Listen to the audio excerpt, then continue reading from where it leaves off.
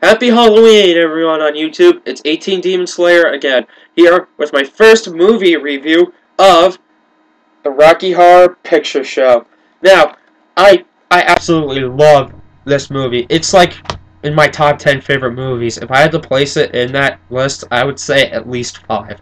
It's one of my favorite movies of all time, and Believe it or not, I saw it when I was a very little kid, and the movie's rated R, by the way, people. For those of you who have seen it and knows what it's about, yeah, uh, I had satellite TV when I was a kid, and it was on all the friggin' time, just just like Beetlejuice, and uh, Beetlejuice is also one of my favorite movies. But I'm not talking about Beetlejuice, I'm talking about Rocky Horror, god damn it! And, uh, yeah, it's one of my favorite movies uh, based on a play called The Rocky Horror Show, not the Rocky Horror Picture Show, uh, created by Richard O'Brien, who played the, uh, the butler character Riff Raff in the play and uh, in the movie as well. And uh, also stars uh, Susan Sarandon, Nell Campbell, um, Meatloaf, and the debut of Tim Curry as Professor Frank-N-Furter. The plot involves uh, and the plot involves Brad May. Oh, yeah, it was released in the mid 70s, I think 1975. And uh, the plot involves uh, Brad Majors and uh, Janet Weiss, who are newly engaged and are going to break the news to uh, their science professor, uh, Dr. Everett Scott, where uh, in his class where they met. And they get a flat tire along the way, and they come across a castle with all these freaky people in there from like Transylvania. and it's weird. They meet Riff Raff, his his Sister Magenta, who's the maid. Uh, Columbia, again, uh, she's played by, uh, yeah, Nell Campbell, who's like a little, uh, groupie, uh, who's a groupie, yeah, uh, I don't think we use groupie as anymore, we call them fangirls now. But, yeah, and then they meet Dr. Frank-N-Furter, played by Tim Curry, and he basically makes a man. Yeah, that's basically what Frank-N-Furter does, he creates man. He's kind of like uh, Dr. Frankenstein. So yeah, uh, but as the movie goes on, it gets weird, and it also stars Meatloaf as uh, Eddie. Eddie's cool. I like Eddie. He's like my he's my favorite character in the movie, even though he isn't in it very long. But yeah, at towards the end of the movie, there's this big, big, big, big, big, big, big, big um, musical number, and uh, also towards the end of the film, you discover something. You discover uh, what the Transylvanians really are. I won't spoil what what they really are. Uh, if you want to find out for yourself, watch the movie. Movie's very good. I give it, yeah, I give Rocky Horror Picture Show, because it's one of my favorite movies, a 7.5 out of 10. Well then, on to the toy review. Now, I shall be reviewing Universal Studios, Universal Studios Monsters Retro Cloth series, and beginning with Series 1 is the Frankenstein Monster. Now, this guy is my second favorite figure in this entire collection. I like him. He's really cool.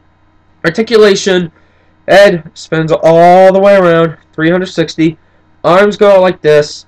Uh, yeah, they go out like this. Uh, if you try to put this way, kind of, it doesn't hinder much in the clothing.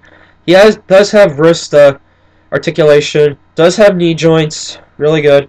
Uh, kind can kind of spin this way, but uh, hindered by the clothes. And yeah, all, he's really good. Again, my second favorite uh, figure in this collection. And uh, his card is right here. It has Frankenstein. It says Frankenstein, it has pictures of all the monsters in the series. Frankenstein, the Wolfman, the Mummy, and uh, Count Dracula. now then, move on to the second monster in the series, which is the Wolfman figure. He's he's good. I like him. Again, articulation. Yeah, his head spins around.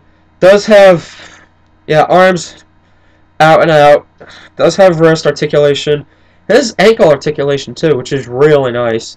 And uh, if you see right there, there are tears in here because he's transformed into his werewolf form.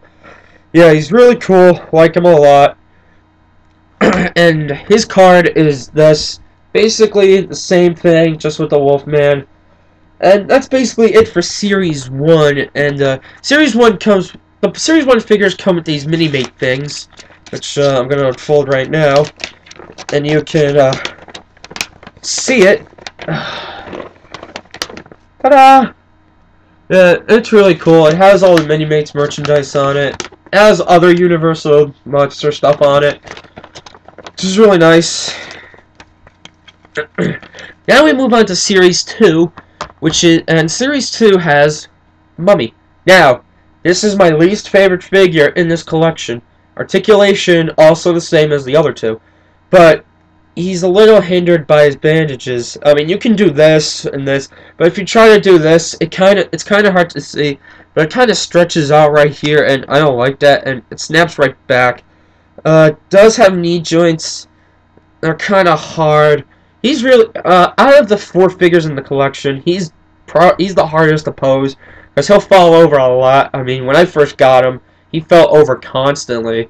So I have to find like to put him up against the wall or something. But yeah, uh, that's all I have to basically say about this guy. There's not much. He does have a see it.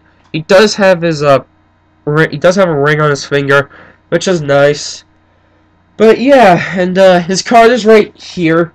Again, it's not the same thing as the Dracula and uh, uh not the Dracula. He's next as the yeah Frankenstein Monster and the Wolfman cards. As you can see, the pictures of all four of the figures are now in color, which I'm not particularly, I don't particularly like. I like them better in black and white, especially if you can kind of see it, the Dracula picture. Zoom in on that. Okay, yeah, if you can kind of see it, he looks really weird in this color picture. But yeah, on to the final figure, and my favorite of this collection. is Count Dracula figure. This guy is cool. Articulation, same as before, same as the other three. Uh, he's hit, uh, kind of hindered a little bit by this.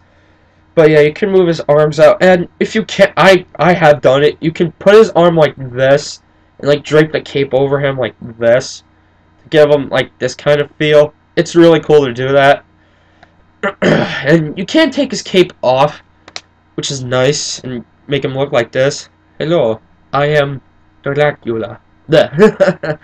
he doesn't say blood in the movie. That's such a Dracula stereotype. But yeah, this guy's cool. Really like him a lot. And uh, his card, again, like the figure, is my favorite because Dracula's pale and you can see him. You can see him a lot better. And again, same thing. I like the lettering of his name on this. And yeah, it's the same thing as the Mummy card, just with Dracula. And that's about gonna do it. I don't have much more to talk about. So, I guess this is it, YouTubers. I'm out. And I'll see you guys next time as I do another review of... Huh, as I do my first video game review of Street Fighter 2. See you guys then.